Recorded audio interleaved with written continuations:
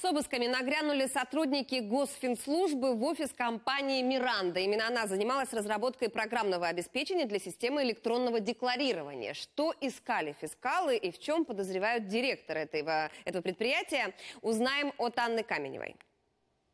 Ну, все тумбочки, все, все вони переривали, тобто всі особисті речі. Это Наталья Гранат рассказывает об утреннем визите правоохранителей. Она бухгалтер скандальной IT-компании «Миранда», которая разрабатывала программное обеспечение для НПК.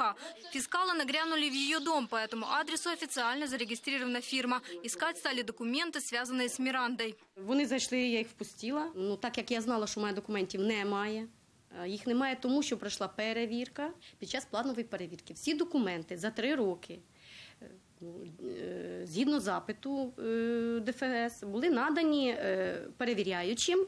Тогда нарушений в бухгалтерских отчетах, утверждает Наталья, не нашли. Но сегодня правоохранители не ушли с пустыми руками. Изъяли жесткий диск домашнего компьютера, говорит бухгалтер, и забрали все флешки. С утра пораньше нагрянули фискалы и в квартиру бывшего директора Миранды Юрия Новикова. Прокуратура подозревает его в уклонении от уплаты налогов во время разработки программного обеспечения для Е-декларирования. Компания получила на это почти 97 тысяч долларов от ПРООН. Но часть суммы, по данным следствия, вывели через эстонскую компанию. Подозрения вручили Новикову еще 15 мая. Нам здається, що це спроба відвернути увагу від того, що результати власне декларування не досліджуються, а якісь ідуть е, заперечки е, і е, витягнули на публічність і на тиснуть на компанію, яка розробляла систему, яка навіть зараз не експлуатується.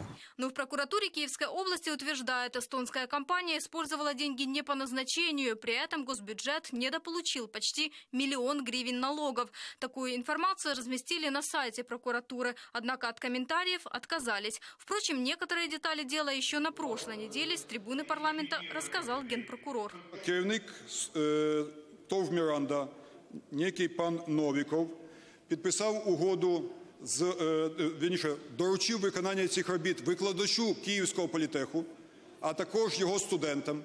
Що вони й зробили? Пан Новіков е, замислив ці кошти присвоїти і ухилитися від оподаткування.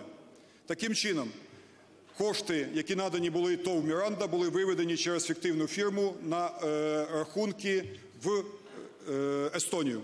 Юрию Новикову Соломенский суд столицы будет избирать меру пресечения уже завтра. Анна Каменева, Елена Митясова, Вячеслав Фролов, Андрей Кузнецов. Подробности телеканал Интер.